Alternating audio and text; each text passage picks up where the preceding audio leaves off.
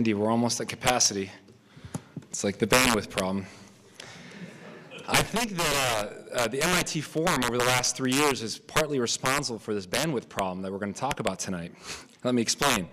You've all heard of Pandora. We had Pandora out a couple of years ago, and uh, we, they talked about their business and how they started. Of course, Pandora specializes in streaming music, and at the time, we took a straw poll of the audience and asked how many people stream their music. So I'd like to do the same. How many people here ever stream mu music off the internet? Wow. So almost everybody, I'd say like 90%. Well, just two years ago, it was probably like a third of the audience raised their hand, and that was a Pandora interested audience. Another topic we looked at two years ago was the growth of social media.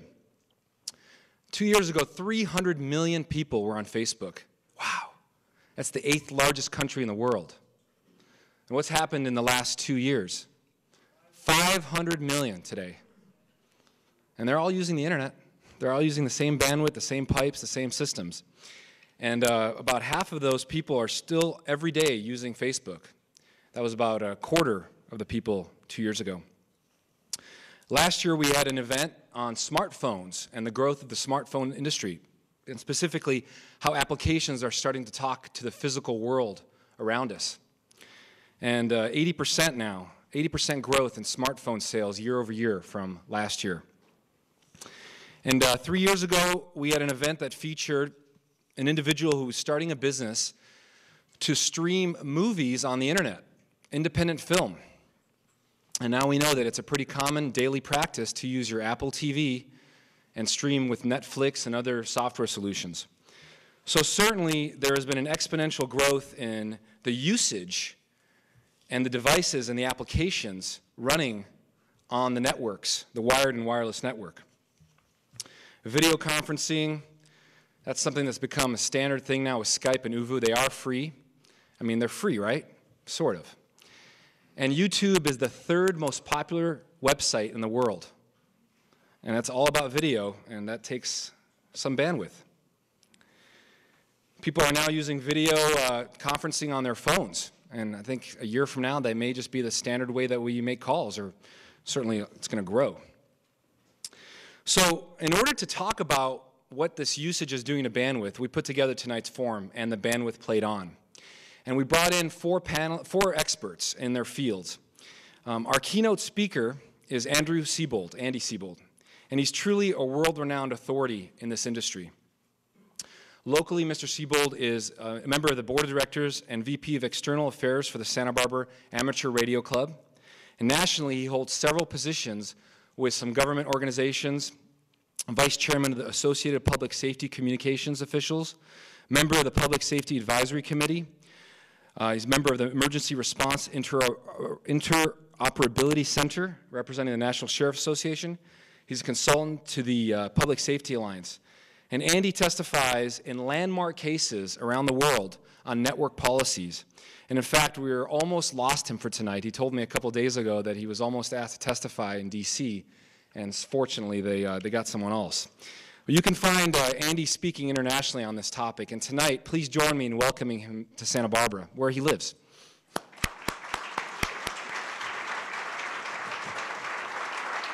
Thank you, sir. Good evening. It's good to be here, especially since I live here and uh, I like to give back to the community I live in. Um, so while he's getting the slides ready, I'll talk a little bit about my blog, which is called Tell It Like It Is, and by the end of this, you'll probably understand why. Um, I don't pull any punches. Even my clients know they're not safe if they do something dumb. So I've got a lot to talk about. This is the agenda. We're going to go through it fairly quickly. We got a great panel afterwards. I'm going to talk a lot about a lot of subjects, and I want to start with the wired internet, kind of give you a status report. Um, this is how many people use the internet worldwide, and this is as of 2010. You can see the numbers are, are pretty high.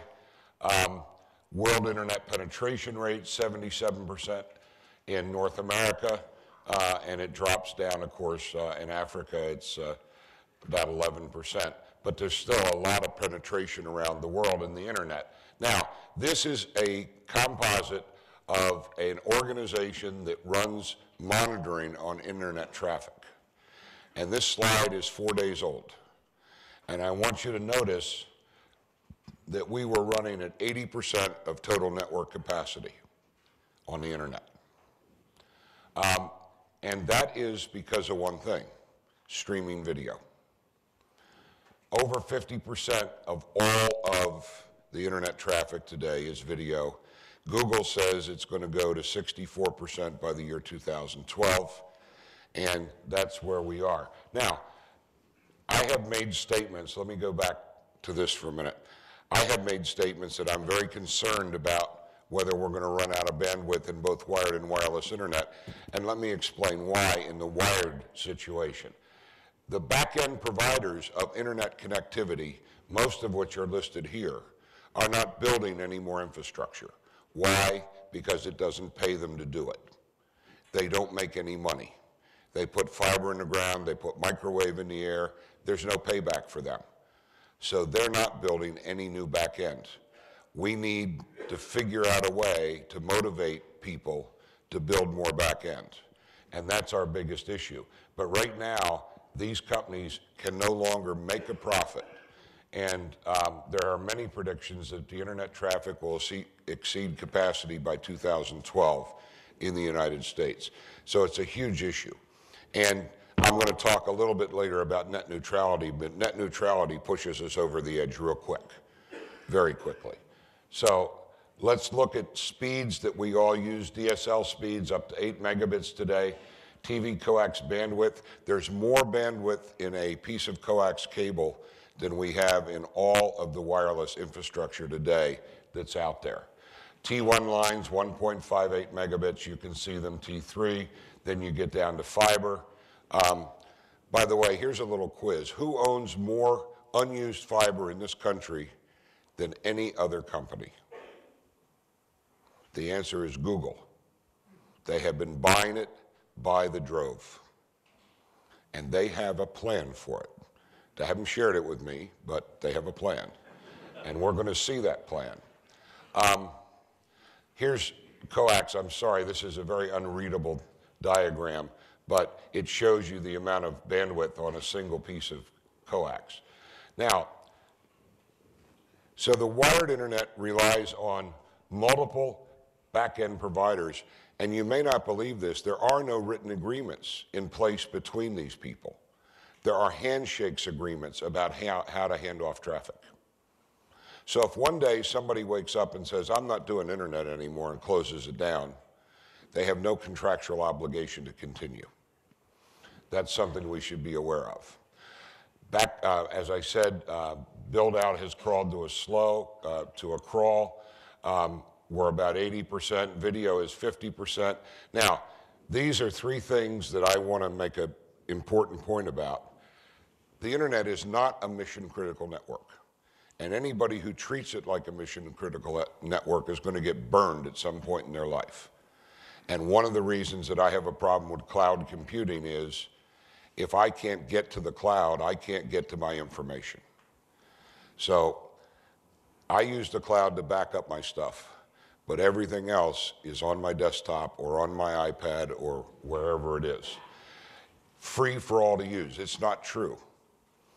You know, a lot of people say, well, the internet's free. Well, it's free just the way highways are. You pay for gas, you pay taxes. You pay for a car, you pay for registration, you pay for taxes. There are costs involved in getting on the internet. Um, once you get there, there's a lot of free con uh, content. Now, this last point is most important. It is not a managed network. There is nobody sitting in a command center somewhere looking at the amount of internet traffic and routing it. It's a fairly smart network. It was designed to be very smart. But there is no one organization or body that can come in and manage loads and distribute loads. It's free running. So we should keep that in mind. So statistics, we rank five in the Americas in broadband deployment, 74.2%. Um, Look at the growth, 134% growth in one year. 58% of us have broadband access at home, 9% have broadband access at work, 9% have dial up, and 21% have no access. And I'm going to talk a lot about the nationwide broadband plan and what we're doing there to get um, internet into rural America. Um, there's two kinds of people who don't have access people who cannot get it, and people who cannot afford it. And there's a big difference.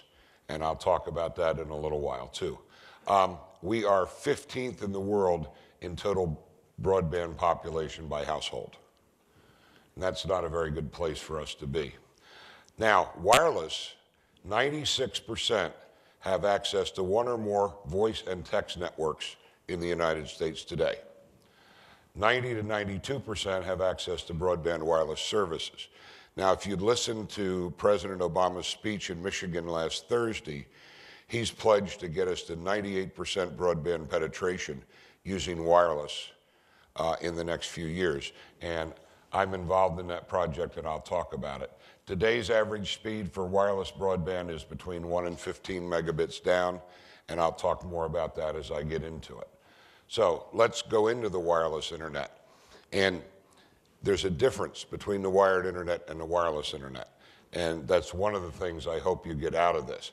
The subscriber totals uh, are here. I, I, figured some of you uh, like graphs, so I put some of these in. Um, a lot of people using wireless. Mobile data as a percentage of revenue, you can see that it's gone up quarter after quarter as more and more people start using wireless data. Percentage of revenue from data, the US is 33.8%. That means that voice accounts for the rest of wireless networks' income. And that's important to remember because wireless data consumes 100 times more bandwidth than a single phone call. Yet our data rates are growing very high. Look at Japan, 48.7% um, revenue from data. It's moving in that direction. The US operators, here's how their uh, revenue from data stacks up, and you can see that AT&T and Verizon, about 35% of their revenue is coming from data. Um, Sprint Nextel about 31.2%, and T-Mobile 25.6%. Data revenue is growing, voice revenue is declining, that's true. We have the cheapest, by far, voice rates in the world, except for India. India pays less than we do, but we pay an average of five cents a minute. There's one chart I didn't include, but we have a chart for, that we do for our Wireless Data University, which is an eight hour thing we do several times a year. We have a chart of minutes of use. And the United States leads by a huge margin. In the United States, the average cell phone user talks for 884 minutes a month. The next highest is Canada at 635 minutes a month. That's a lot of talking. Okay, so wireless data capacity, how much spectrum do we really have? Spectrum is a finite resource. We can't make any more. We can use what we have more efficiently, but we can't invent more. We can't make more. So let me try to put that in perspective for you. Um, this is the electromagnetic spectrum, and it goes from a low um, below the AM broadcast band up till you start getting into microwave and infrared and then ultraviolet. So all we have is right in here, and we don't have any more. Um, I love this. This is the Federal Communications Commission chart of the available spectrum and who has access to it. And even with the one that's mounted on the wall, you can't read it. So each one of these boxes is a different portion of spectrum and a different slice of users. Now, if you studied this, the one thing that's really interesting is that the NTIA, which is the organization that handles the federal allocation of spectrum, controls 62% of all available spectrum in the United States. The FCC, the Federal Communications Commission, controls the rest.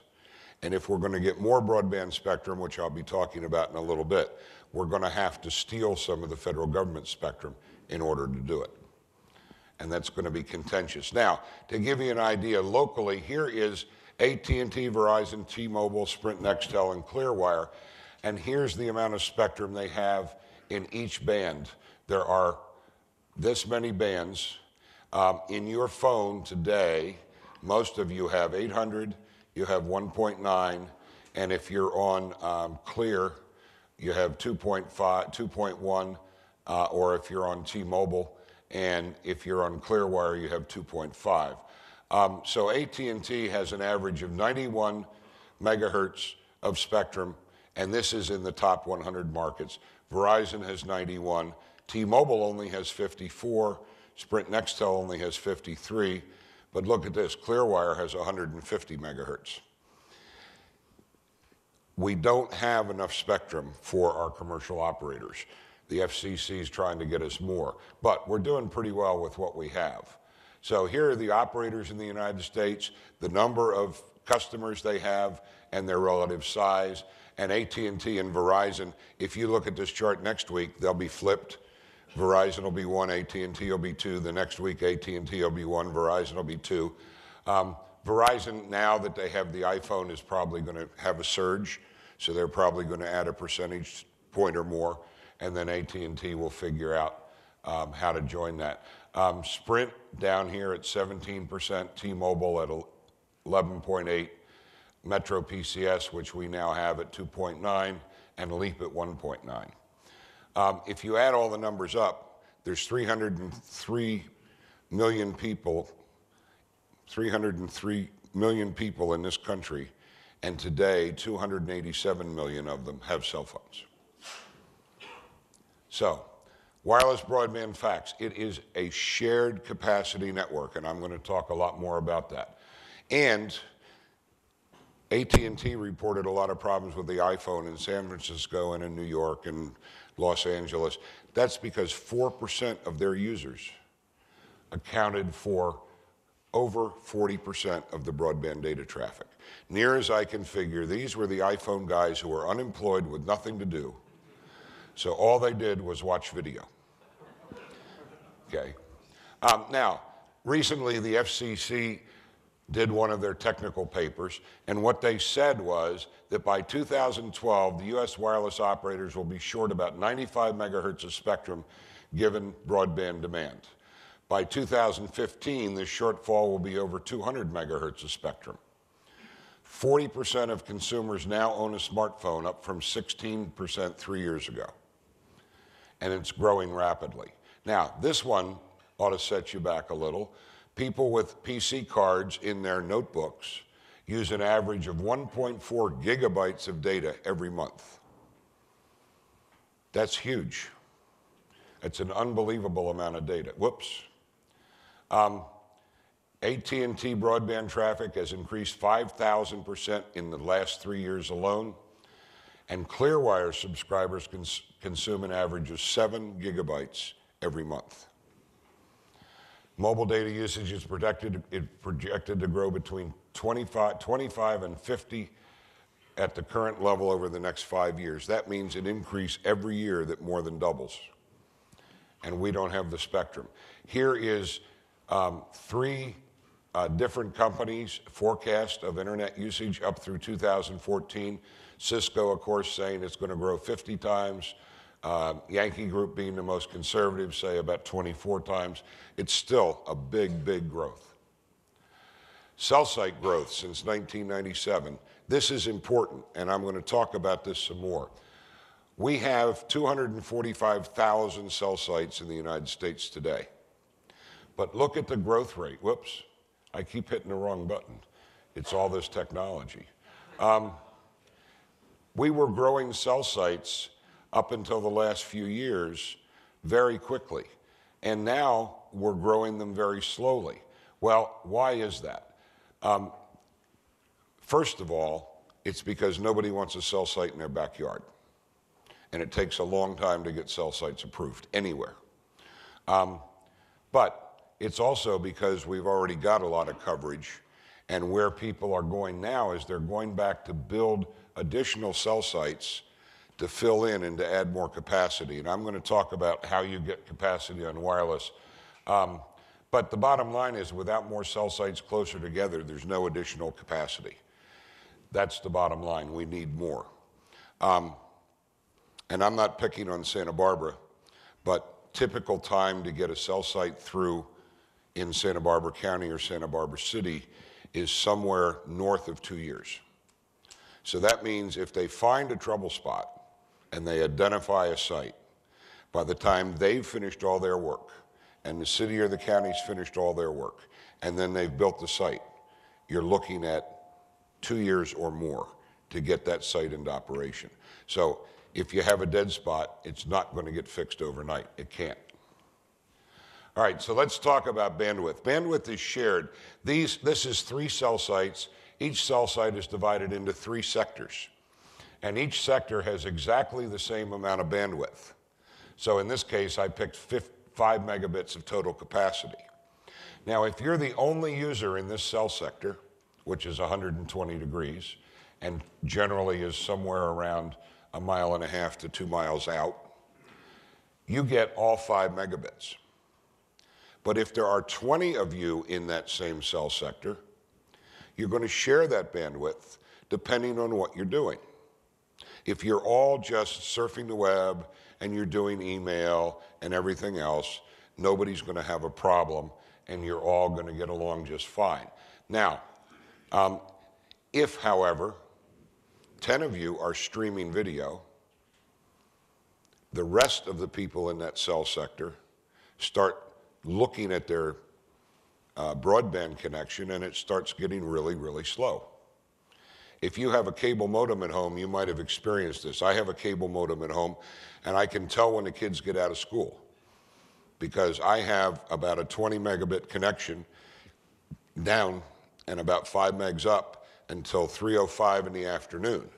And then it goes down to 12 megabits and 3 megabits. And that's because coax modems are shared networks in a cluster of houses. So the more people who are on it, the more people who are sharing the bandwidth. Same thing with wireless. You're sharing this bandwidth here. Um, now, let's look at how we get more capacity.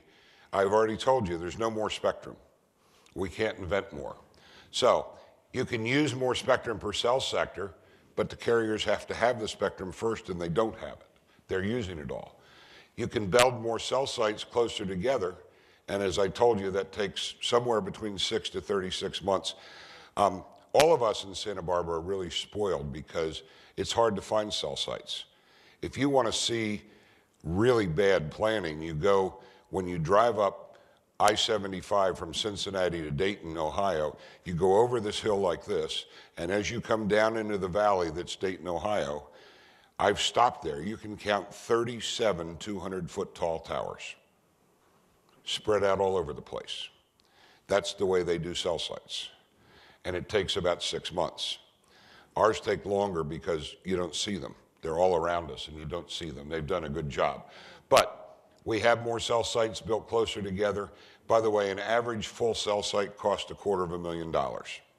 And for any of you who want to lease space to a carrier, the going rate per month is 1500 to 2500 per month that they pay you. So it's, uh, it can be fairly lucrative. Um, now, what they're doing is they're offloading the larger cell sites, and here's where it gets fun because now we have microcells, picocells, femtocells, and Wi Fi. So a picocell or a microcell is a smaller cell. Uh, a picocell is smaller yet. Um, if you want to see what I'm talking about, if you go to Cliff and Las Positas, that intersection, and you look up at the telephone poles, you'll see antennas up there.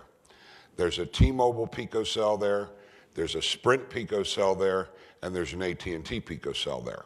And then if you look up the hill into Elings Park, you'll see six antennas, which is an AT&T or a Verizon full-on cell site and an Nextel full-on cell site. So you can get the idea of the difference. Now, femtocells are the new big thing. And the carriers love this. So let me tell you the business model. A femtocell is like having a Wi Fi access point in your home, it brings the cellular network into your house. So you buy the femtocell, you connect it to your back end, your DSL, your cable. it goes over and it gets integrated with their network. So for the privilege of getting off their network and having that capability, you pay for the back end service and you pay for the femtocell. And by the way, they still charge you by the minute. Okay, it's a pretty good deal for them. But what it does is it offloads the big towers and you get better coverage at home. And it works very well. Now, what T Mobile has done is instead of using femtocells, they use Wi Fi. So, for an example, I have a Blackberry here that is on T Mobile and it has Wi Fi. And my office and my home are about 150 feet apart, and I have access points in both places. So I can start a conversation in my home, it's on Wi Fi.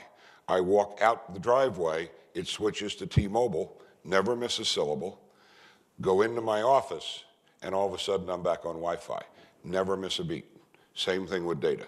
They've done an extraordinarily good job. So a lot of companies are looking at femtocells and Wi-Fi, and it gets us better coverage indoors because we're not going to get good coverage indoors from external cell sites. Um, so there's a lot of exciting things going on. So the network operators are using all three of these, um, but most of them don't have the extra spectrum to deploy. Um, now, I use the word backhaul, that's a funny word, but Remember I showed we have a tower that has three segments of five megabits each. So I've got 15 megabits of data. I got to carry that data back to the network and then onto the internet. And that's backhaul. And typically in 2G and 3G systems, it's done with a lot of phone lines. When we go to the next generation technology, because it's so much faster, it has to be either fiber or microwave. So it adds to the cost dramatically. Um, so the cell sites need backhaul. Here's some pictures of typical cell sites, but we need to be able to get the information to and from the cell sites. Um, backhaul capacity, now this is something we did, and, and I won't identify the coffee shop because they're all the same, but six of us went up to a coffee shop that has Wi-Fi, and this is very, very much like a cell site, and it proves the same thing. Well, Wi-Fi is 50 megabits of data. So you say, wow, there's 50 megabits of data in that uh, coffee shop, except their backhaul is a T1, which is 1.54 megabits. Guess what? The total available bandwidth in that coffee shop is 1.54 megabits, not 50. So we went up there and bought our lattes, and we sat down, and six of us started doing internet traffic. And what happened was I had one person start streaming, then the second one, and then the second one, the next one. And by the time we got three of the six streaming video, we had brought that network totally down. So nobody could use it. They politely asked us to leave. um, so the amount of bandwidth is a factor of total capacity of cell sector and the backhaul from the cell site. Backhaul capacity, here's the numbers again. The more backhaul capacity you have, the better you are. So let's talk about this next new exciting thing, 4G, long-term evolution, WiMAX. We keep getting faster and faster and faster. Verizon is rolling out LTE uh, all over the United States as fast as they can, and AT&T is not far behind. Well, what is LTE? I'm going to show you some data speeds, um, but I want to just give you a caveat that Data speeds depend on the amount of spectrum you have and the amount of spectrum you can utilize. And I'm not going to spend a lot of time on these. The slides will be available if anybody's um, interested. Um, the other thing that you have to note about a cell sector is the closer you are to the center of the cell, the more bandwidth you get. If you're at the edge of a cell sector, you're getting very, very low bandwidth, very low capacity, very low data speeds. You're in the middle, you're getting about 50, 60% of it. And if you're up close, you're getting all of it because that's the way radio signals work.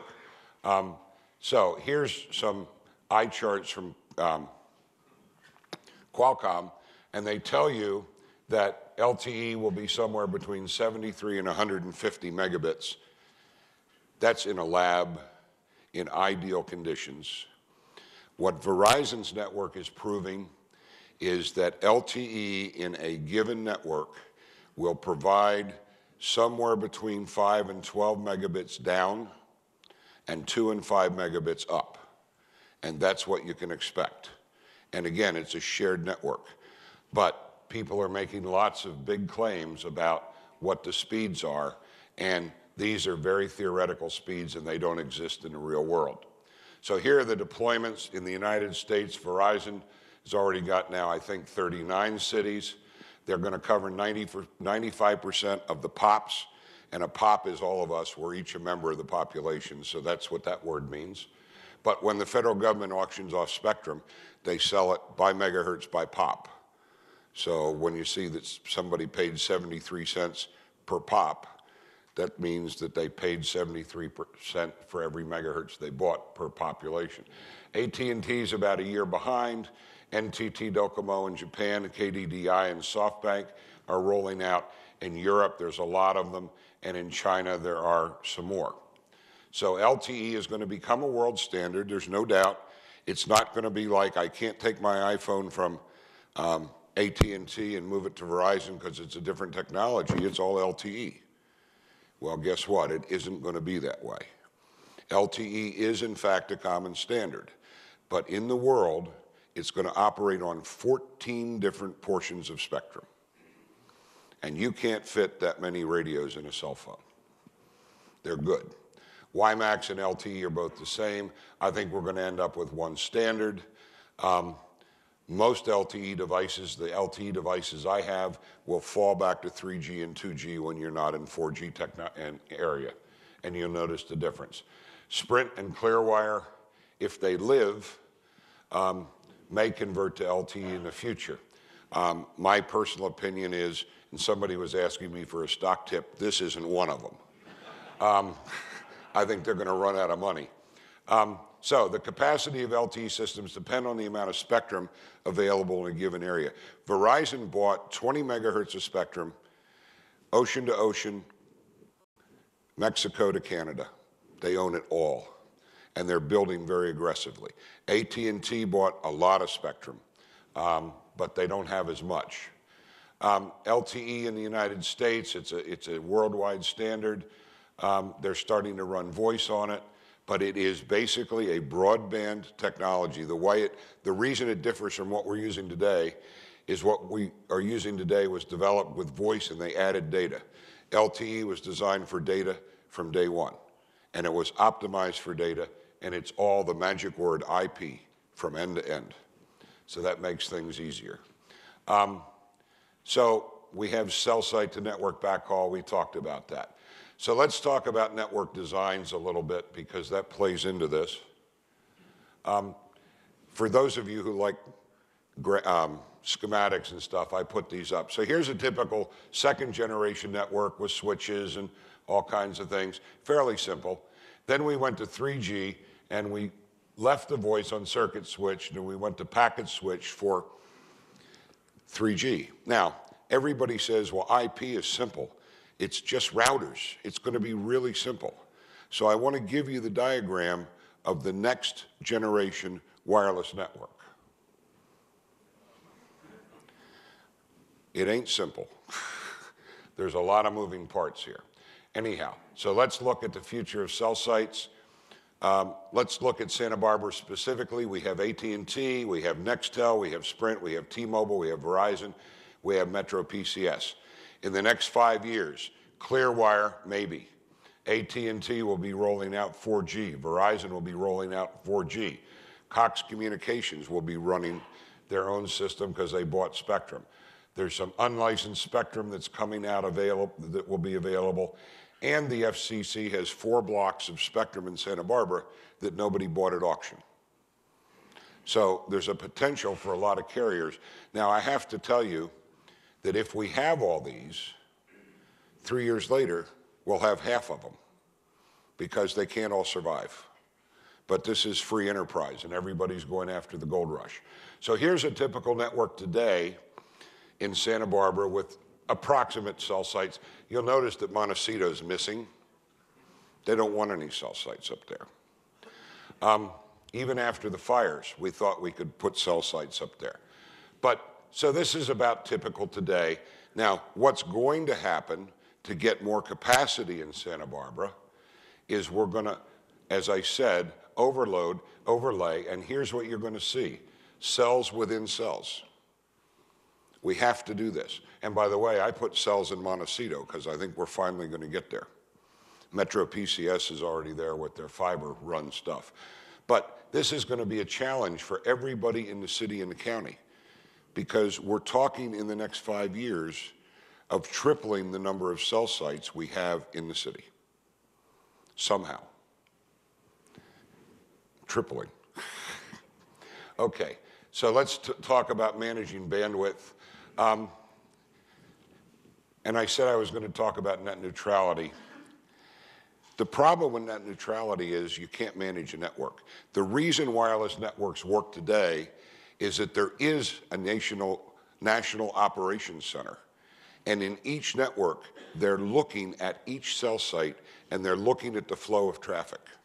So, for example, they do smart things. In New York City, when the theaters let out, and they all let out at once, they electronically adjust the antennas on the cell sites so that more cell sites cover that area, so they don't run out of bandwidth. So they manage the network. Now, you may have noticed that most of the network operators are doing away with all you can eat fixed data pricing.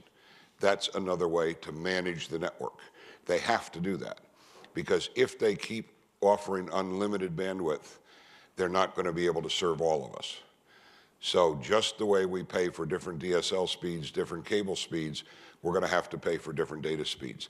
Now, the other thing that's going to happen, which is very interesting, is we're going to be charged by access speed, by data usage, and time of day. And by time of day, meaning if you want to download a movie at 2 o'clock in the afternoon, you're going to pay an extra five bucks for it. But if you defer it till 2 o'clock in the morning, you're going to get it for free. So they're going to use all these tools to help us manage the bandwidth we have. Um, now, the other thing that's happening is we're getting all these new appliances that are wireless. You know, I used to kid three years ago about a GPS radio collar for my dogs. I can't kid anymore because they're on the market. The only thing I haven't figured out is when you tell your dog to come home, can it just ignore you? but anyhow, so we have the Kindle, we have the Chumby clock radio. Um, we have the navigation systems in cars. At CES this year, almost any kind of device that we use has some kind of wireless in it today, and they're getting to be more and more. So, US penetration is at 87% of the US population today. The network operators are not worried at all because guess what? That's going to go to 300%. We're all going to carry multiple devices. I have more than most, and I'm fortunate because I don't pay for any of mine.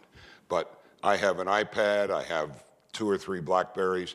Oh, that reminds me, I have a, another question here. Does anybody recognize that? That is the very first Blackberry ever made, and it was made in 1998, and it operated on a data network called the RAM Mobile Data Network, and the data throughput was four kilobits per second. And guess what? My first quote about this device was, I get email on it faster than I can read it. You know, I mean, this is where we came from in 1998.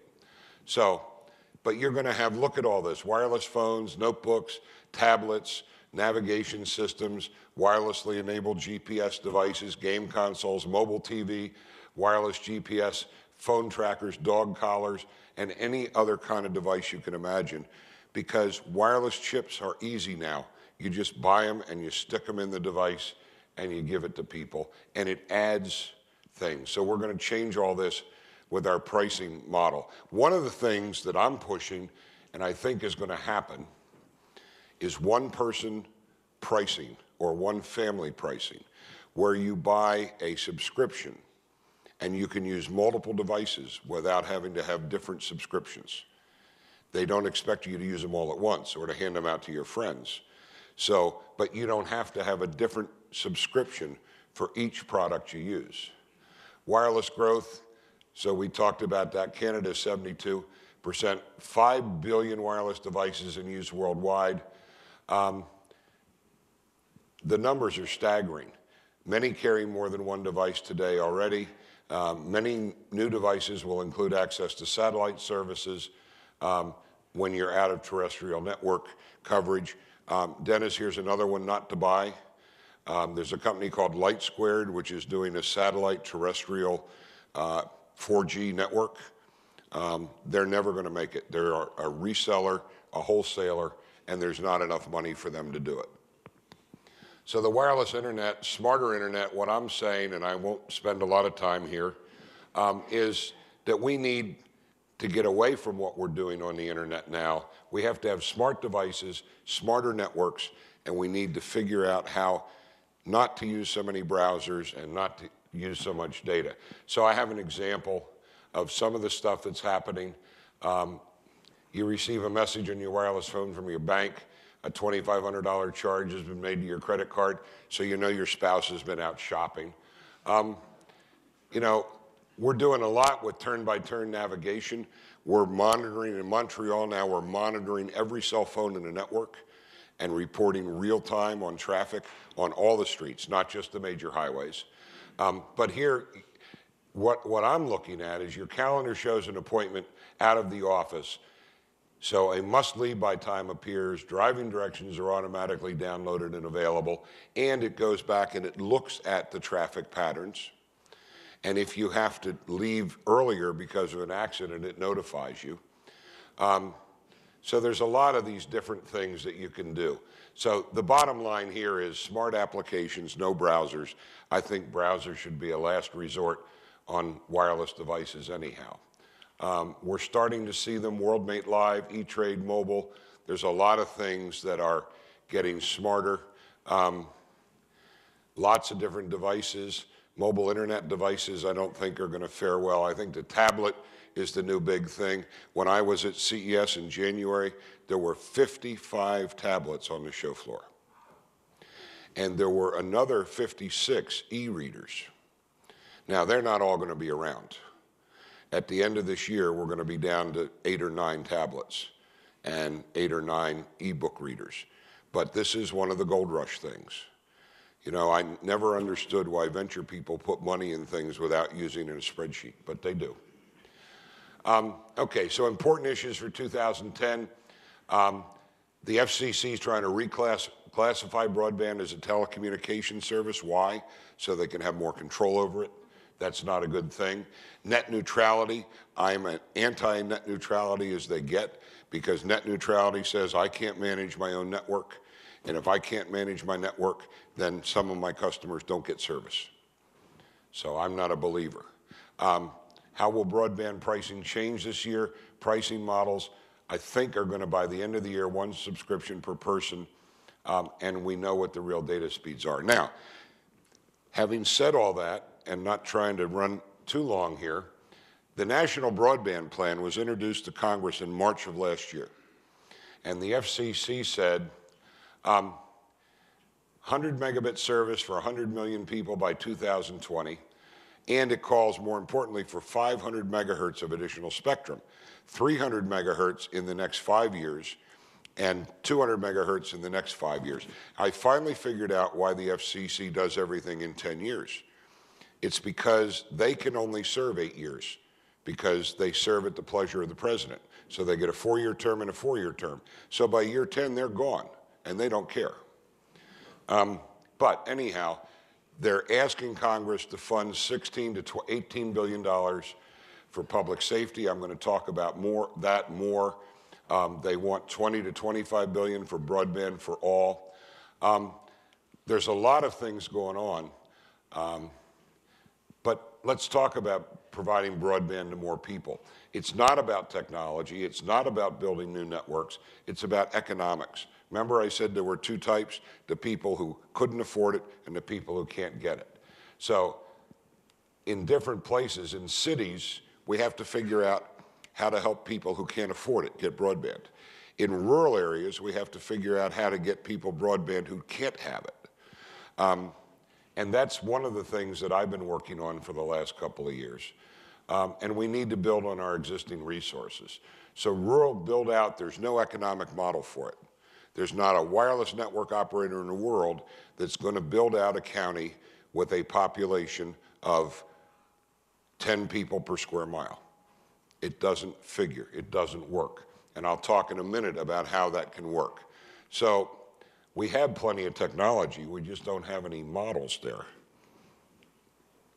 Okay. Um, and it's a lot of different solutions, but I'm going to talk about one that I've been working with.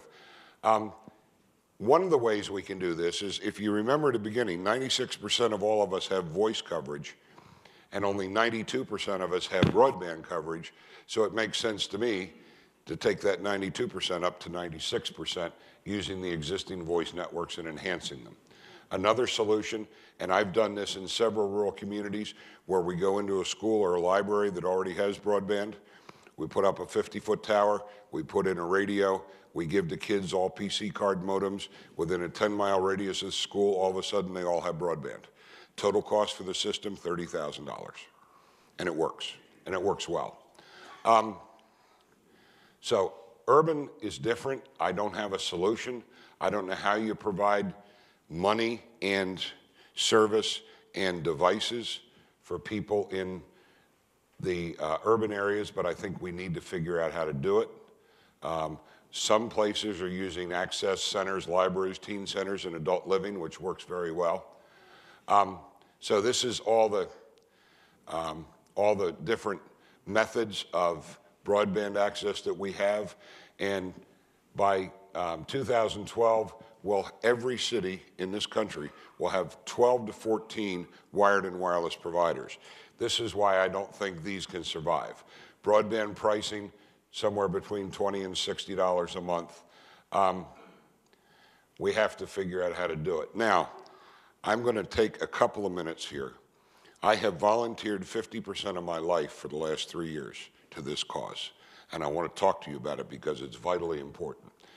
You have in your smartphone three times the capability that police, fire, and EMS have on their belt. They have no data. And if they're using commercial networks, the commercial networks get overloaded and they can't get through. So for three years, we've been working on getting them additional spectrum. Most communications between fire and police and EMS is done with multiple radios. The average police car has $10,000 worth of radio equipment in it. The average fire truck has $10,000 worth of radio equipment in it. And you paid $199 for your iPhone that does five times more. So the federal government gave public safety 10 megahertz of very, very valuable spectrum nationwide. However, it turns out that that 10 megahertz of spectrum is not enough. It won't handle the traffic that police, fire, and EMS need. So what we've been trying to do, there's an adjacent piece of spectrum called the D block, and you see I got my D block pin on here, that is right next to it, that's another 10 megahertz. So we're trying to get people to reallocate the D block to public safety and then to fund the federal, with federal money, a nationwide interoperable broadband network for public safety to the tune of 10 to 15 billion dollars from future auctions. And any of you who think, oh my God, we got to pay off the national debt, let me give you another point of information. Our national debt grows $4 billion a day. We're talking about four days worth of national debt to build a nationwide system for public safety. Now, 18 months ago, we couldn't have gotten a bill entered into Congress. Last week, when I was in D.C., there are now three bills. This week, there'll be two more. And President Obama in Michigan stood up and said, We're going to reallocate the D block to public safety and we're going to fund it. The reason I'm bringing this up, we still have to get it through Congress. So I'm asking any of you who care to get a hold of your Congress people and say, let's go ahead with one of these bills. Let's support public safety and get the uh, public safety community the funding and the spectrum they need. And I'm sorry I got off on a tangent, but like I said, I've been donating 50% of my time for the last three years to this. Uh, I think it is a very, very worthy cause. or I wouldn't be doing it. And very frankly, when I started out my career, I was working in public safety communications, and it's been very good to me over the years. So, some final comments. Wireless broadband is too successful. That's the bottom line. There's too many things that people want to do with wireless broadband. We got to figure out a way to make it better. The network, networks are scrambling to keep up with demand. I've already shown you that building cell sites is a long process in Dayton, Ohio, or Santa Barbara. It doesn't matter. It's a long process. Um, they're upgrading the networks as fast as they can to higher speed and better capacity. Remember, I said there is no more spectrum. We can't build anymore. But with every technology, we're using the spectrum more efficiently. We're now transmitting data at 15 megabits or 10 megabits per second that five years ago it was impossible to do with brand new technologies. Um, look for um, different ways that they're going to manage the networks. They don't have any choice. New data pricing models, tiered pricing, and pay for large files, and I talked about that. Applications and devices, um, internet view of browsers, I talked about that. Downloading, streaming video generates a lot more data. Um, it's incredible how much downloading there is. Um, the iPad actually and tablets could be the choking point for wireless internet. I have an iPad and I use the heck out of it. A lot of times through Wi-Fi in my home, but when I'm traveling, I use it um, on the road a lot for a lot of things. I don't watch videos, but I do a lot of reading. Um, mobile internet devices are gone, uh, more 3G notebooks. Um, there are more and more notebooks available today with built-in wide area wireless and Wi-Fi and Bluetooth. And think about this for a minute. I, I mentioned this BlackBerry. This BlackBerry, you've got to wonder what the engineers are doing. This BlackBerry has five wide area wireless frequencies in it because it takes me worldwide. It has a GPS receiver in it. It has Wi-Fi in it, and it has Bluetooth in it. If you counted, that's nine antennas in this device, plus the radios, and it lasts two days. It's amazing, the technology, but we're going to get to a point where we run out of that technology. New app stores, the problem, if any of you are familiar with it, is how do you find the apps you really want? I think we're going to solve that problem maybe this year. Uh, pricing models will change. I talked about that. We're going to carry multiple devices, all of us. Um, wireless penetration will go to 300% in five to 10 years. We're going to use wireless for our command and control device. Um, I'm working with an auto agency in, in a company in Detroit right now that when you get into your car will recognize your phone. And it'll adjust your mirrors, it'll adjust your heat, it'll turn on your favorite music, it'll do all that for you. And by the way, if it's 8 o'clock in the morning, it'll recognize you're going to work, so it'll check the traffic and suggest the route. We're going to have lots more of this stuff coming for command and control. You already can check to see if your garage door's open. I have video cameras around my house. I can get to them anywhere I am in the world. Um, there's a lot more of that coming, but guess what? It all uses bandwidth. So we're going to have to figure out a, a better way. I think the FCC will find the spectrum we need. I don't think they'll find 500 megahertz, but I think they'll find a lot. And I think we're going to get some of the government spectrum added into what we already have to make this happen. It still won't be enough to match the increased demand going forward, and that's what concerns me. But um, I think there'll be some other things too. So no matter how much spectrum we have, nor how good the technology, unless we manage the networks properly, none of us are going to have access to the wireless internet. So there's a lot of exciting things. This is a great industry. A lot of people are doing a lot of hard work. A lot of people are making money. Um, and I think the wireless internet and the wired internet are going to diverge when it comes to applications and types of things. Um, and I think that's where I'm going to stop. So thank you very much.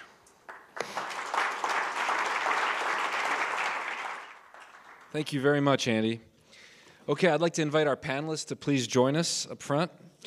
we're going to do a, a quick intro of each panelist.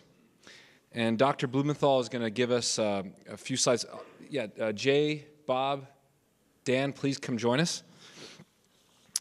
And then after uh, the intros and w- after each panelist tells us a little bit about their thoughts on the subject matter, we will, uh, we will open it up to questions. I've got a few to start us off. Okay, so Dr. Daniel, Daniel J. Blumenthal is a professor in the Department of Electrical and Computer Engineering at the University of California. He's right here to my left. Raise your hand. Uh, Dr. Blumenthal is the director of the recently formed Terabit Optical Ethernet Center. So it's not your everyday knock. And the LASOR project at UCSB, a project funded by the DARPA MTO Data in the Optical Domain Network program. Sounds very advanced. He currently serves on the board of directors for National Lambda Rail and serves on the Internet 2 Architecture Advisory Council. And he's the co founder of Calient Networks and more recently Packet Photonics. And his interests are in optical communications, photonic packet switching, and all optical networks, all optical wavelength conversion and regeneration. So please join, please welcome uh, Dr. Blumenthal. He's going to share with us a few slides for a couple minutes. Thank you. So um, thank you very much for the opportunity to speak here today. I didn't know our mayor was going to be here, so I want to do a quick 30 seconds here. Um, a very close friend of mine is vice president of Verizon, and he's the one who's responsible for FiOS. It was his baby. And I go there a lot, we were just there over Christmas, and I said to him, why don't we have FiOS in Santa Barbara? And he said, you could. and as you're going to see, many of you may not know, but we at UCSB have one of the world's leading fiber optic research programs in the world. And we don't have FiOS here. Now, to make you feel a little better, Stu, who lives 10 miles from corporate headquarters, doesn't have FiOS either. So it's a great mystery why you might not have FiOS, whether you're the one who rolled it out or whether you're doing research in state of the art. And that's an interesting thing to talk about at some point. Um, I would like to talk today maybe about what's driving uh, this bandwidth, terabit optical Ethernet. Terabit optical Ethernet, that's terabits per second. That's every second that I'm talking. One times 10 to the 12th bits of information are flying past my face on one fiber, we're planning on putting all the data that transports on the whole planet today on one fiber, just to give you an idea of what's going on at UCSB. Um, what I'd like to do is just let you know, as Andy said, video. This is Gary Epps at Cisco. This is a data center. This is a state-of-the-art data center by Yahoo called the Chicken Coop Design. Now, in this slide, what I'd like to do is tie together something very interesting. Today, and I hope it comes up, most of our constraints are power. This chicken coop design is state of the art. It runs about 10 megawatts, or about the same to power a city. However, the cost of powering it is so much money that Yahoo put it up at Niagara Falls, oriented it towards prevailing winds, uh, did like a chicken coop with louvers so that when it starts overheating, it opens it up and lets the wind cool it down, just like they used to cool chickens, and that's why you have a chicken coop. Um, Intel is a strong supporter of ours. Today, 50 billion devices are out there, only less than 1% are connected to the internet. That will be changing very soon, and they're predicting hundreds of billions of devices connected to the internet over the next five years. As a matter of fact, UCSB is instrumental in helping Intel with a new product called um, Lightwire. They are planning on putting 100 gigabits a second to your laptop in five years with a fiber. For those of you that thought that things weren't going to go faster, get ready because they're about to take off big time.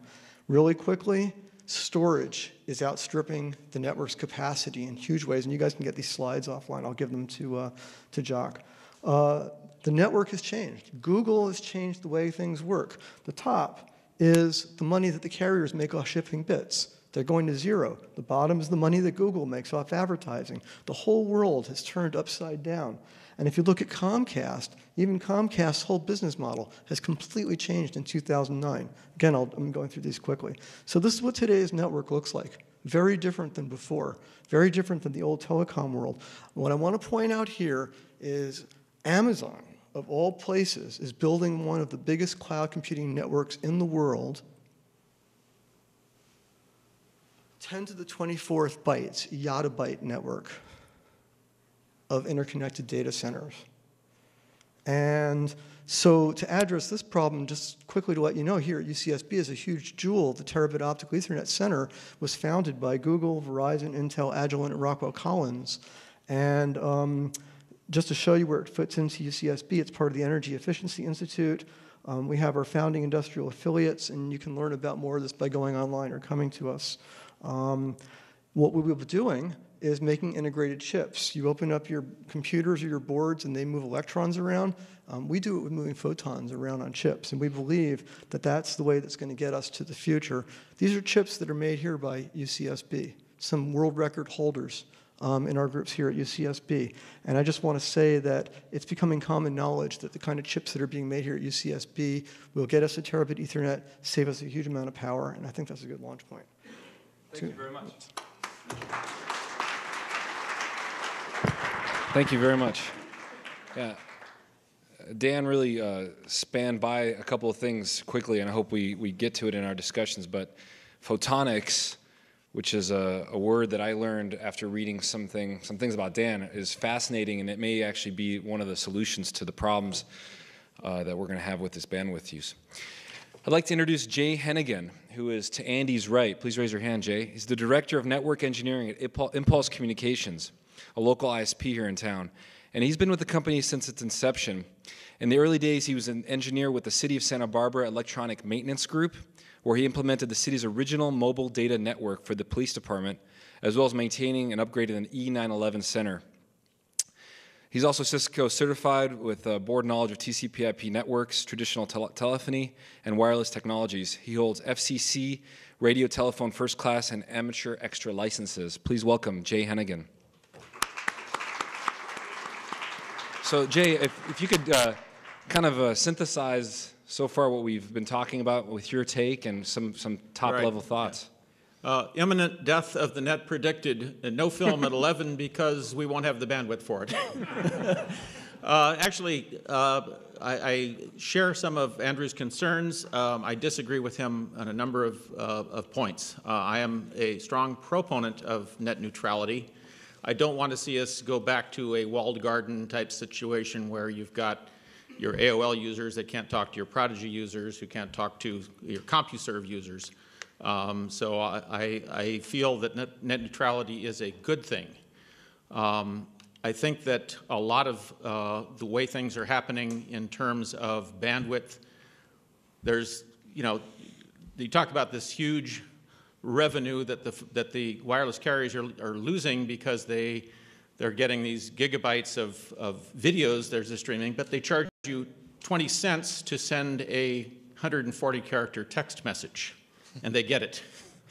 So there's a lot of this is upside down in terms of, of uh, the way things are, are happening. I feel that uh, one of the ways that the bandwidth is going to be available as things are moving more towards the edge. Uh, we're seeing Akamai technology. Uh, we have that in our data centers where a lot of the content, a lot of the video content, a lot of the ad, web ads and what have you that you see are stored locally right here at, at our ISP. So when you visit a website that has an embedded video, CNN, Apple, uh, what have you, when you get your uh, Microsoft updates on uh, Update Tuesday, um, that's not coming across the internet. That's already been delivered to the internet and it's sitting in our data center and we serve it to you over the local pipes. So I think you're going to see a lot of this going to the edge.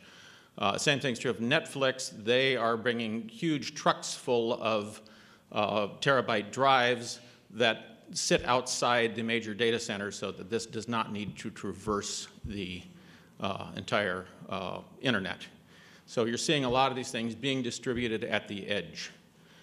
Um, Andrew is certainly right. We cannot build more spectrum. What we have is what there is available. It's the laws of physics. Uh, and what we've been doing is, is cutting away at some of the spectrum that was previously allocated we have not used. There used to be 83 6 megahertz television channels. The original cellular telephone took the first 15 of those, the top 15 of those away that weren't being used. We didn't need 83 television channels. A lot of what was wireless is now wired in terms of cable television. um, or has gone way up in the spectrum in terms of satellite television. Uh, so we've got all this spectrum that, that we're not using. Uh, a, a television broadcast station, single television broadcast station in Los Angeles, covering a 100 mile radius or more, um, uses 6 megahertz of spectrum to saturate that entire thing, and you know, not all that many people are watching it off the air. So I think that reallocation of the existing spectrum is a good thing that will solve a lot of these problems. Thank you very much, Jay. And for those of you that, that don't know what net neutrality is, it's actually, uh, I guess it's a belief system that everyone should have the equal amount of bandwidth and access to the internet, uh, that it should not be governed, it shouldn't be managed, and maybe not even metered. So it's a, it's a philosophical shift, and I'm sure I'm going to get clarification Yeah. on those. I, I do want to in, uh, introduce Bob Fasulkey, Vice President of Engineering with Digital West Networks. Bob's been in this industry for more than 30 years, and he's designed and implemented all forms of telecommunications technologies, spanning from RF to optics. And he's actually been involved in some pretty uh, exciting international leadership projects, including implementing voice and data networks in Rwanda, Africa. And uh, he's also had some uh, implementation projects in Ireland. Um, he's implemented one of the first networks that carries HDTV on multicast IP packets for large-scale deployment. So please welcome Bob Fasulkey. So what are your uh, what are your thoughts on, on what we're talking about here?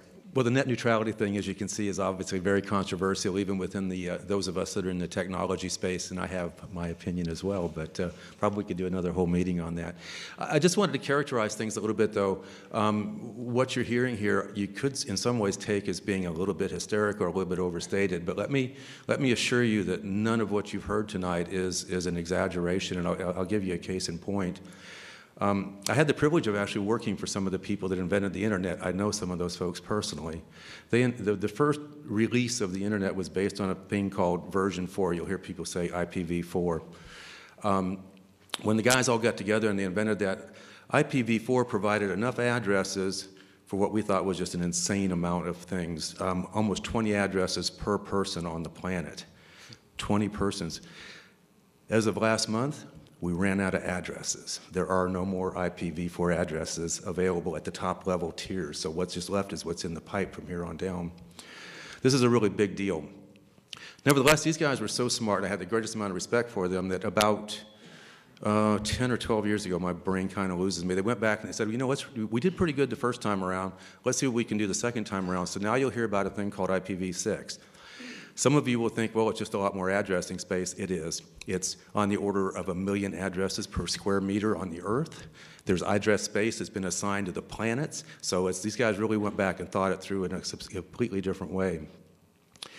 With, with the IPv6 scheme, though, there's actually quite a few other things that are embedded in there. There's a little thing called extensions. And one of the things that you, you'll hear they're talking about, everything being IP based, IPv4 is actually a pretty dumb technology. It's, you know, it's what we call a session state or a link state technology. It knows it wants to go from here to here. V6 is going to be smart enough to actually know who you're doing, what, I mean, what you're doing, where you're going, all these ty- types of things you're talking about. So we have these, uh, I think there's 21 defined extensions in there right now that are virtually not being used. I had a chance to talk to uh, the chief engineer of Verizon a few weeks ago. They're really thinking through how they're going to go about putting and using those extensions. So some of these things you see talking about here today, and then things that we haven't even begun to think about, will start to emerge. It'll be a completely different network in just the next five years. Thank you very much, Bob. Okay, I'd like to start us off with a few questions and then open it up to the floor.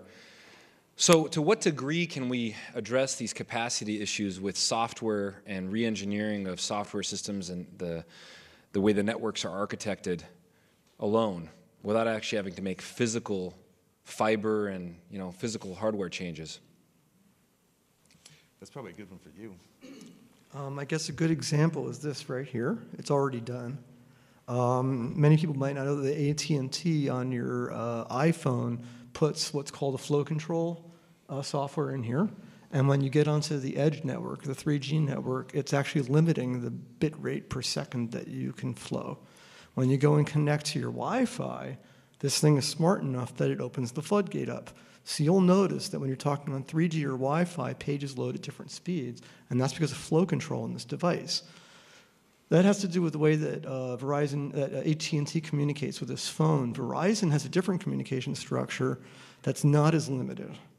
And what's interesting is you can go down the street and buy a little box that is a Wi-Fi box that talks to the Verizon on 3G, talks to Wi-Fi to your AT&T devices, up to five of them, and fools this device into thinking it's on Wi-Fi when it's really over a 3G network and opens the floodgates up. So um, it's interesting because you can actually fool them too. But uh, flow control is one of the band aids, in addition to the other things that Andy talked about, that are already doing that with software. Yeah, and Jay, could you talk a little bit more about the edge? That kind of Right. Well, I was going to address your previous question. So what we're seeing is uh, flow control, or what is, might be called quality of service, um, and this relates to um, what Vint Cerf uh, jokingly had on a T-shirt once. It said "IP on everything." In that all applications will eventually become uh, IP. And one of the things that we do on our network um, is voice over internet. So real-time voice um, is essentially taking a phone call, cutting it into 50 packets per second, sending those packets out the internet, and then reassembling them into speech at the other end. Um, and so flow control and quality of service is very important for voice. If those packets come in the wrong order, if I delay a syllable of speech a half a second, I certainly don't want to then throw it back in the data stream because it'll just wind up sounding like garbage. Um, whereas streaming video, if I can delay when I click on demand to go watch a Netflix video and I delay that for 50 seconds so that I've got a buffer of, of data, then if I lose a few packets or something comes out of order, I've got a 50 second buffer window to, to rearrange that. So I think one of the things you're going to see in software is prioritization of traffic, real time voice traffic. Um, needs to get there right away. If I lose a 50th of a second of speech, it's not a big deal. Um, but it, I have to get them in the right order without appreciable delay. Um, a text file, a program, a, a, something that is software, um, has to be 100% correct. An email, um, you know, or, or, the text document, software code, uh, you want to make certain that that is error-free. So you use TCP, which is a connection-oriented, what they call reliable protocol, to make certain that everything has a checksum and everything works out 100%. But if that's delayed a little bit, it doesn't matter. So we've addressed this to some extent. IPv6 obviously is, is, has uh, some security measures, uh, encryption built into it as well. But uh, applications that uh, traverse the network based upon the uh, characteristics of that application and having the network adapt those characteristics is, is very important. I think that's something that needs to be addressed uh, network-wide. Yeah, and Andy, you had shared an example that sounds a lot like that about that calendar entry. Yeah, um, but uh, the point I wanted to make here was that um, LTE, the fourth generation technology, has four levels of quality of service built in, and it has seven priority levels built in. It also has more network management capability than any other wireless protocol we've ever seen. And you know what's really interesting to me is Verizon, AT&T are going to roll this out, but it's going to take them literally a year or more to learn how to manage these networks because there are so many parameters within them. But they are going to be doing flow control. They're going to be doing quality of service. And the way the customer is going to see quality of service is how much are you willing to pay for how much data speed you're going to get. Mm -hmm. Yeah, it's specifically though, as, as an example that, has been alluded by everybody here, is is applications that are smarter, that are actually right. going out to the internet, retrieving data, as opposed to the user launching a browser on their phone or on their desktop. Right. And Andy, you had talked about an example where you know if you've got a flight to Dallas, what kind of information could the app get for you? Yeah, well, I what's really funny is one of my business partners wrote this thing in 1999 and called it active content, okay? And we're still looking. There are companies like WorldMate Live and people like that that are doing this. But the bottom line is that you embed something in a calendar and then there are a lot of actions that take part. And, and the whole description is, so I have a flight to Dallas, I have a hotel reservation, so the flight is constantly updated. There's a weather icon that's placed on my calendar. They know that I'm, the calendar knows I'm going to rent a car from Hertz. It knows I'm going to a certain hotel. So when I get there, the turn-by-turn directions have already been downloaded. Um, it knows that I like Chinese food and I have four hours of time that night, so it identifies the nearest Chinese food restaurant. The next morning, when I'm going to call on my customer, it lists all those customer orders for me, and by the way, it reminds me of his wife's and kids' names and that he's a golfer. I mean, all of that's done without ever touching a browser. Yeah. That sounds like way beyond any bandwidth issues. Sounds like being proactive and almost telepathic. Are we getting to the point, gentlemen, where every individual is going to be metered? Where you know my usage in a given month might be twenty-seven dollars, and the next month it might be fifty-five dollars, and then three hundred dollars the next month. I mean, is that where we're headed to really control and manage this network? Let me ask you a question. That's the way you pay for your water, and that's the way you pay for your electricity. True, but that's not how I pay for cable or satellite. I mean, is that where the internet is headed? Well, wait, you got to make a distinction between the wireless internet and the internet, okay? The wireless internet is going to be price constrained because that's the most effective way of managing bandwidth. All right, what happens on the wired internet is up for discussion. But you can have a hybrid where you have mobility, uh, such as your local Wi-Fi, um, that is tied back to wired internet. And when you think about it, the cellular network, the backhaul, is all wired. Uh, some of it might be microwave, but it's, it's essentially a fixed point-to-point network. It's not point-to-multipoint wireless. So again, we're back to the edge in that the wireless internet is really the edge from that cell tower to your individual device. That could very easily be wired internet to a Wi-Fi hotspot to your device as well. So I didn't get a definitive answer to the question. I mean, is are we are we always? And it may be this the answer I should ask in a different way. Uh, is unlimited bandwidth a thing of the past? For wireless, my answer is yes. Doctor Dan. Dan. Um, I agree with Andy. For wired, I think it's undetermined yet. There's huge pressure from the carriers to want to classify in the filters and routers uh, different clients that are willing to pay for different uh, performance. So they're looking for like even cost billable uh, queues inside the packet routers that sit in the core of the internet. And um, I think the world's not that simple because there's a huge backlash on that kind of behavior. I mean, you know, in the end, I mean, we're the customers, and I don't think that people will put up with that. So my own personal opinion is that no, that won't happen. They'll will be continued to be fooled. There will be points in the network that will meter out um, the flow control. Like right now, for example, I think one way to say this that might reach everybody is you can't get an end-to-end what's called service level agreement today. You, you don't get it. And I can't state how fundamental that is. Your service level agreement when you sign up for DSL is only from your house to the nearest router. Period. That's the only contractual obligation they have. You're never going to get that all the way to where you want to go for your data. Now, if you think about how profound that is, um, what it's saying, just like with Cox, is that they're going to put a meter controller there and they're going to let the economics scale at that point, and that's all they're going to guarantee you.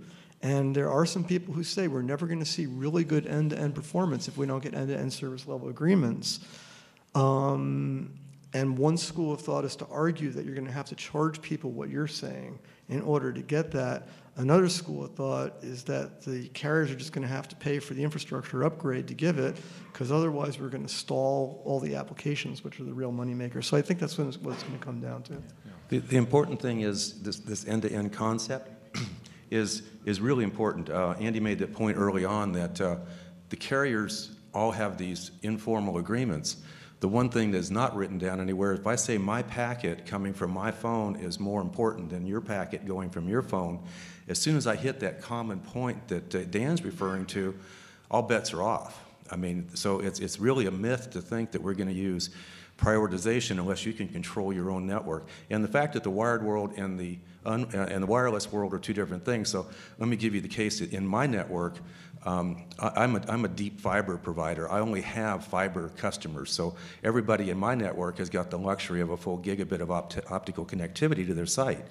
I don't care what they use. Uh, go for it. Um, have have fun. But you don't have that option to take them to some random ISP off, off net. Off net, then I have Right. the same problem once I transfer off my network. And the, the concept that he's talking about is service level agreements are generally on net. So what we've done at Impulse, for example, is we have multiple backbone providers. So rather than being a quote-unquote tier one network that only has our own network and can only guarantee within our customers, we buy transit and we pay for service level agreements from multiple national backbones. So now, if there is an issue, odds are that our customer is trying to talk to someone who is a customer of one of those major backbones, and now I've got a throat to choke. I can go to my carrier and say, our service level agreement says that from our customer to this point in your network, you're supposed to give this, go fix it. Mm-hmm. Um, The internet as, as a whole, and this relates to the net neutrality situation, and that has always been the case, that every carrier can only guarantee service level two within their network. And within the, the internet itself is a network of networks. Nobody owns it, nobody regulates it. That is a double-edged sword. There's no guarantee. It's always been best effort. But on the other hand, you know, there's no, there's no big brother. Um, and so if you don't like what you've got, you go somewhere else. Right. I'd like to open up for questions. Yes, sir. And I'm going to repeat the question so that the viewers at home can participate. Oh, I guess not. Oh, We're good. Hi. My name is Henry Baker. I'm a uh, MIT electrical engineer and computer scientist, and a uh, partner in a $1.5 billion private equity fund uh, investing in uh, infrastructure communications, including we were the first uh, institutional investor in Akamai. Um, I have to vehemently disagree with uh, Mr. Seybold's conclusions here. There is no uh, bandwidth problem. The um, Irwin Jacobs showed many, many years ago, he's the founder of Qualcomm, about how you, uh, if you power limit the devices, and Bell Labs showed if you uh, steer the, the uh, signals through space, um, you can share the bandwidth among as many people as you want. There- There's just simply, uh, you know, the, the conclusion that you're reaching is just simply false on a technical basis. The, what's, what's missing here is the architecture. What, what we're dealing with is a legacy uh, architecture, which is, is it's a dinosaur, and it has to be replaced. And this is the whole rationale of the mesh networks, the ad hoc networks. Uh, there was a very good uh, PhD thesis from MIT back around 97, 98, which actually started this whole area. And so I, I think what's missing here is a failure of um, innovation, a failure of, of imagination. It's not a failure of the technology. Yeah, and I, I think Andy did say that there were implications like you were describing, but you know when you're looking at that 120 degree chart that he showed in one network, and and the other thing that I think is is hard to deny is that when one network is saturated, there is a change in speeds and there's latency. I can But I point think a- Andy will probably be able to better address and I can point a laser directly at you, and not only that, I can put a laser at every single person in this room and not interfere. And in fact, those, the laser beams can actually intersect and not interfere. There is no problem. What you need is multiple input, multiple output antenna, which actually do this. There, there's a, there's a lot of work going on in mesh networks, there's a lot of work going on in smart antennas, ArrayComm, um, and I've, I've done work for Irwin Jacobs for 25 years, and I've sat and talked to him about all of this. Um, The Obama plan was to also infuse a huge amount of money, $500 million in research for cognitive radios, for smart radios, for mesh networking, for all of the things you're talking about. But none of them are ready for prime time today. And what we're trying to do is to get some spectrum set aside so we can experiment with these and play with them. And um, there's an awful lot of very good things, but there's also the downside. He mentioned a minute ago that wireless is only, you know, it used to be the last mile, last quarter mile, last 10 feet, but that's all it is. Everything else is wired. And it's like Eric Schmidt at Google, he said, there is no bandwidth problem. We just build things closer and closer together. Well, my answer to him on the panel was, that's because you own all the fiber. Okay? I mean, Every fiber is capable of upwards of 20 terabits today. So th- th- there's, there's, there is no bandwidth problem. well, but you got to get the fiber in the ground, and that's the big issue.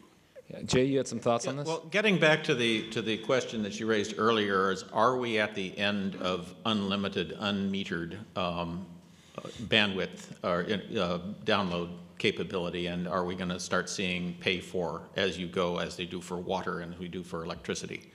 Um, Way back when, I used to sell cellular telephones, analog cellular telephones.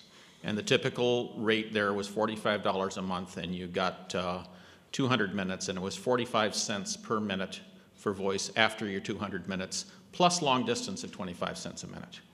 And it used to cost, you know, 25, 30 cents on AT&T to call across the country. A domestic long distance voice minute today is not worth billing. So this is, I think, what we're seeing in the voice world, I think, is what we're going to start seeing in the data world. Is I, I do not think we are at the end of, of unmetered bandwidth. Not yet. Not yet.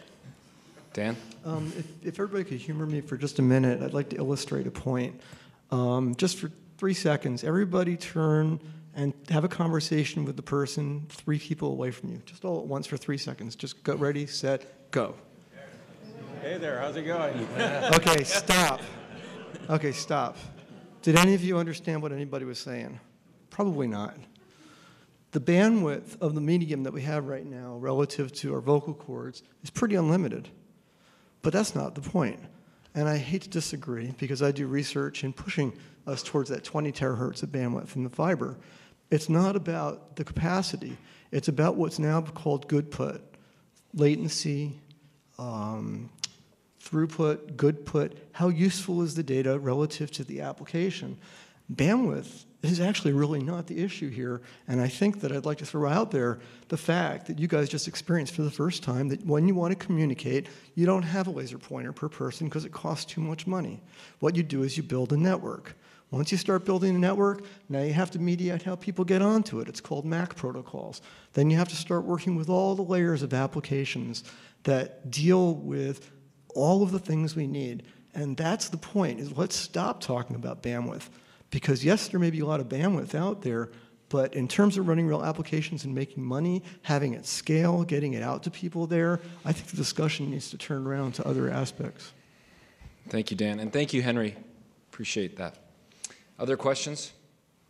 Matt, uh, wait for the mic. It's coming over.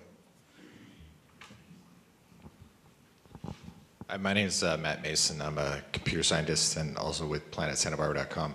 A question. Uh, has anybody, or have you guys had any exposure to anybody who's working on some of the lazier protocols uh, as perhaps a way of getting around this? You know, everybody talks about TCP/IP, but nobody hears about UDP anymore. And um, you know, kind of crappy is okay for most of the stuff that most people are doing. And so then you know, when it gets there doesn't really matter. If I send an email to a colleague, it may not be important to, that they get it for 20 minutes. And so TCP/IP is not so uh, such an important protocol, and maybe UDP is the best way, or some other lazy or kind of crappy way of communicating. Well, all of that streaming video and voice over IP is UDP um, because uh, it, you don't care about the connection state. You're just going to stream that, and, and a little bit of loss is okay. Um, so there are different media for different, for different things. If you're doing a financial transaction with your bank, you don't want to drop a zero in the middle of, a, of, a, of an amount. So you use TCP as a reliable connection-oriented protocol to make certain that the data is received and received correctly with checksums, and I didn't get that packet, send it again. I got that packet was corrupted, send it again. With something like streaming video, you don't care. If, the, if a few pixels disappear in the middle of a chase scene, why, it's not worth resending. So UDP is, I would say, growing as a percentage of the uh, internet traffic, particularly with what, uh, what, what, what Andrew is saying with, with streaming video. Next question. I saw Steve's hand first. Hi, my name is uh, Stephen Ellis with the Pacific Coast Business Times, and I have a, I don't want to drag this back to net neutrality too much, but I, I do want to ask if there could be a different, if there could be some sort of policy that differentiated among concepts, sort of the way you would differentiate between free speech and free beer. Whereas, and what I mean by that is, uh, you know, could there be some framework in which there was a, a sort of, you know, agnostic, a data agnostic way just to meter on some sort of purely quantitative scale without uh, prejudice, you know, prejudicing against where the traffic is coming, coming from or, or going to. So, you know, kind of the way you have free speech, but that doesn't mean that you can just copy, you know, go and take a book and photocopy it and start selling copies, uh, even though you are allowed to talk about it and things like that. The, the court case that started the whole net neutrality issue in uh, the FCC, and by the way, the Republicans have their belief about it and the Democrats have their belief, but there was a court case for a New York City cable company that shut down a young man who was running five servers out of his apartment. And he was using all the available bandwidth for that whole building. So they shut him down. The FCC came along and said, you are not allowed to shut him down. You must let him operate. So the lawsuit ensued, and that's what the present buzz is about net neutrality, is does Time Warner Cable, does Cox Cable, does Verizon Wireless, does AT&T have the right to take somebody who is hogging the entire amount of bandwidth in a given area and throttle them back or shut them down so that the rest of the customers have access. Eh, Was that a was that a wired environment? That was a, a cable TV, envi- a cable modem environment. And remember, cable modem is shared, all right? It's not like DSL. Everything's shared Okay. at some point. But cable is shared on a community basis or a block or an apartment basis. So I think the short answer to your question is there is the ability to do what we call rate shaping, but in a common environment like that, I can't do that on a per subscriber basis. So it just isn't technologically there. With, again, without adding some more intelligence potentially to a modem, um, that requires a whole bunch more regulatory approval. And really, a lot of the things we've got ourselves talking about right at the moment are really they're more political than they are technologically.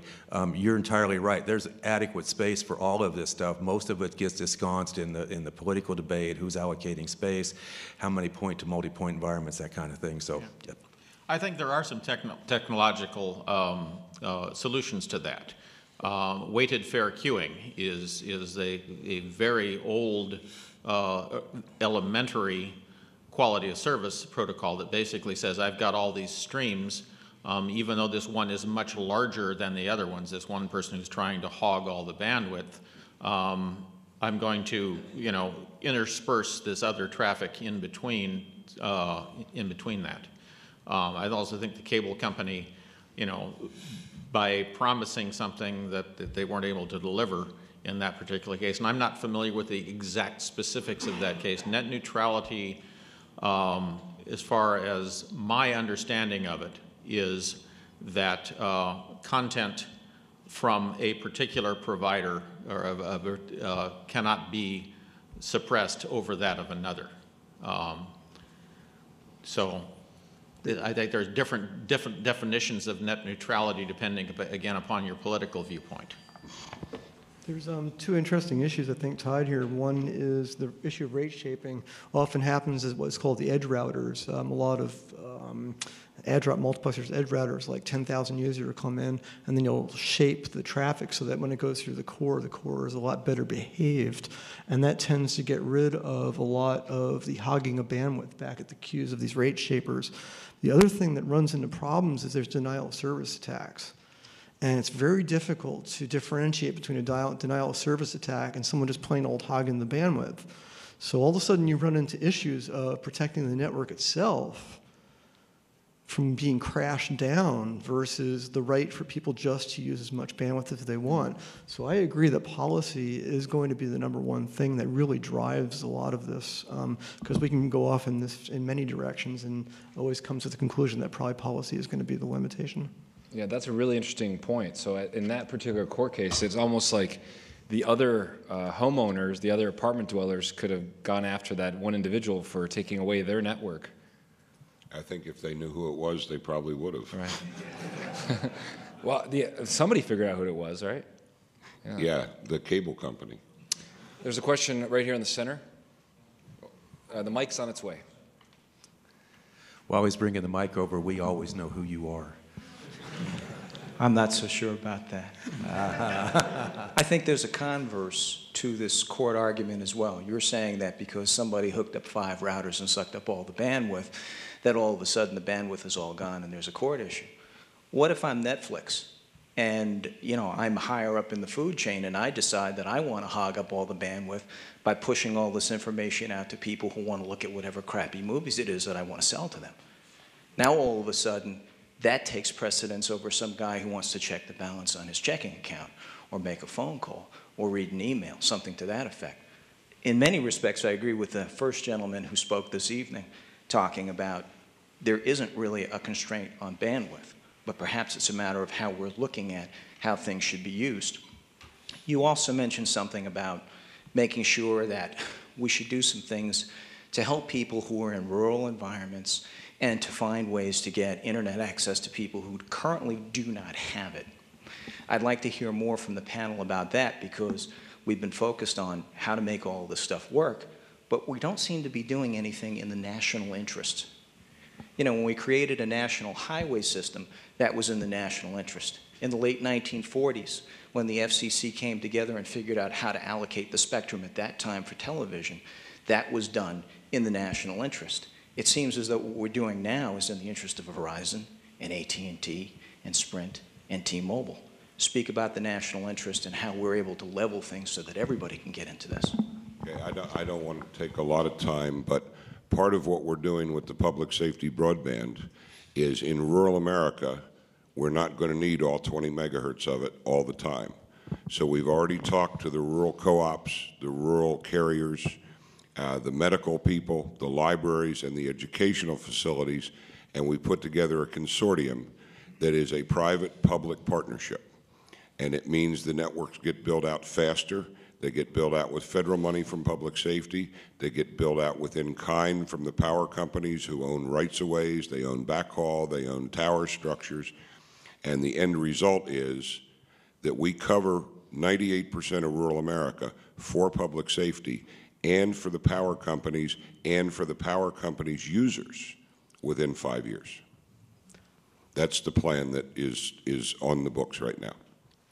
So something funny happened last year. I think that address is your issue. Um, many people know it, maybe they don't. Um, Google um, became very close to the FCC.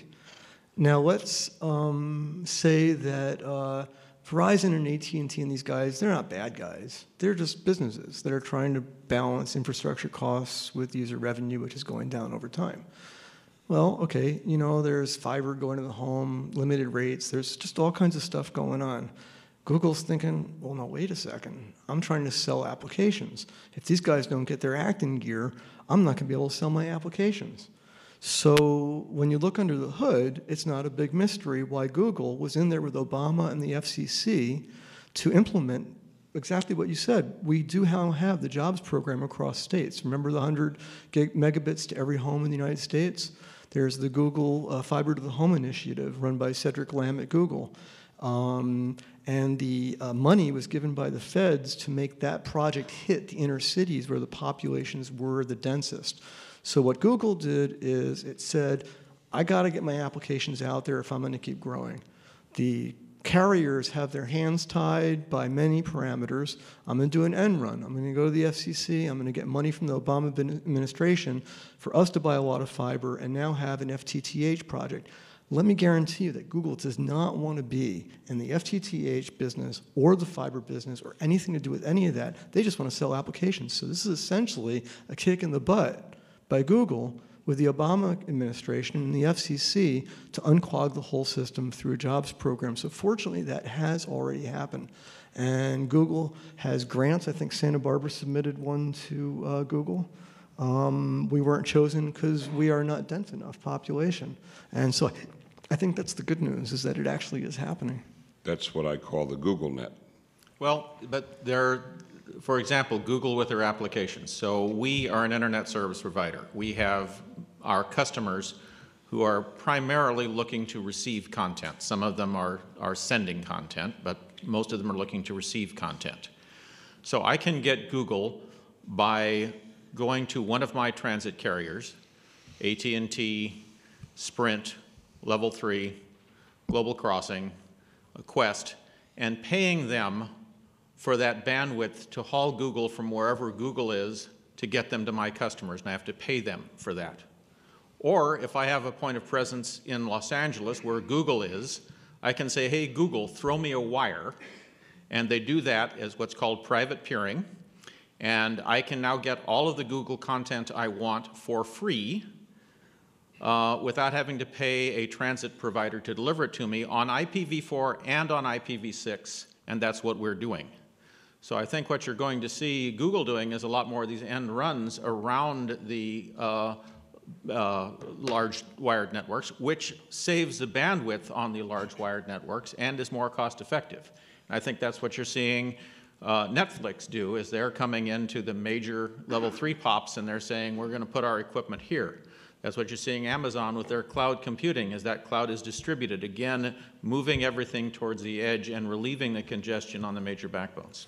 There, there's some interesting things going in, on in Europe that are worth following. Um, nothing has happened legally yet, but there is a proposal in France, Germany, and the UK that the people who generate the most traffic across the network pay the network operator for generating that traffic and that that income is only to be used to enhance the network and build it out. And that's a very interesting concept to me. You know, uh, the network providers here, of course, they, they pay, they charge both the people who are delivering content to them and those who are receiving it, so they get it on both ends.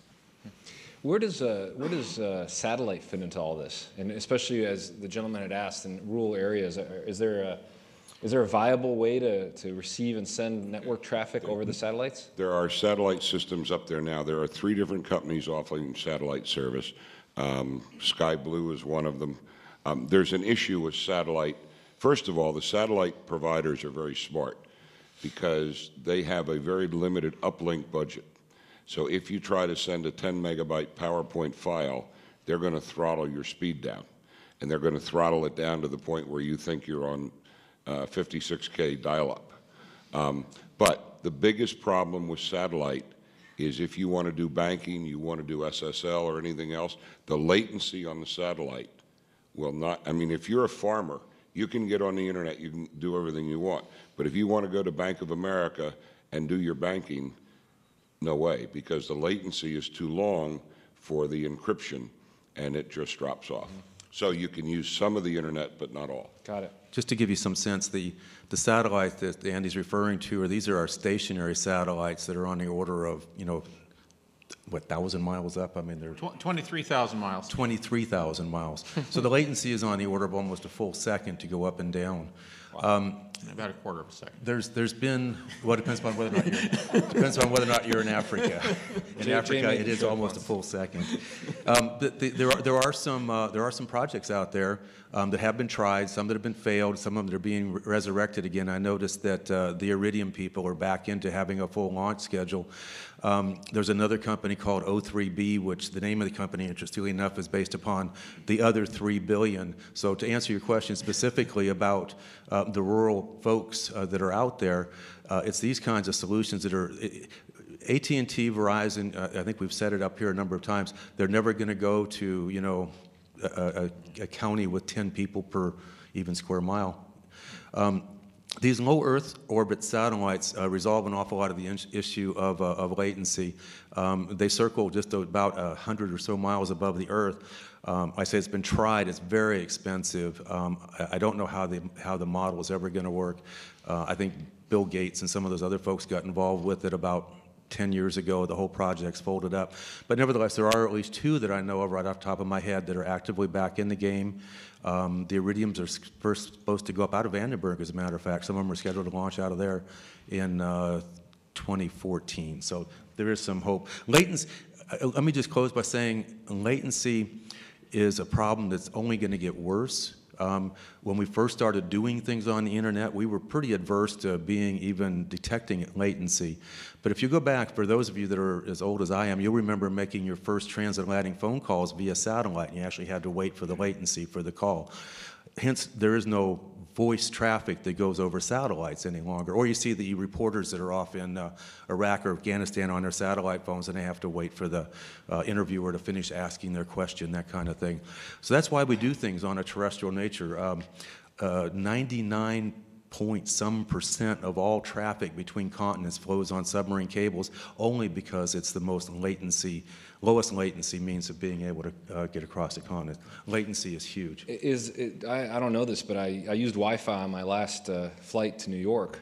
Mm-hmm. Was that through a satellite or some other system? Does it anybody know that one? Uh, yeah, it depends on the airline. Okay, um, um, some of the satellite, some of it's through satellite, some of it is a new band that the FCC auctioned off, which is from the airline down to ground stations um, which has more limited bandwidth. So without knowing what airline, it's hard to know. Um, but if you notice, um, there are some limitations to what you can do with the Wi-Fi on the airplane. Yeah, I had trouble Skyping. Yeah. yeah. yeah.